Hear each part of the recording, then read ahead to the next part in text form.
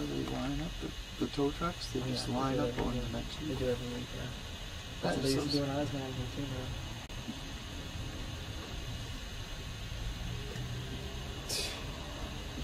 Feeding frenzy for the land sharks. I love the City Scenarios. It was fucking awesome, dude.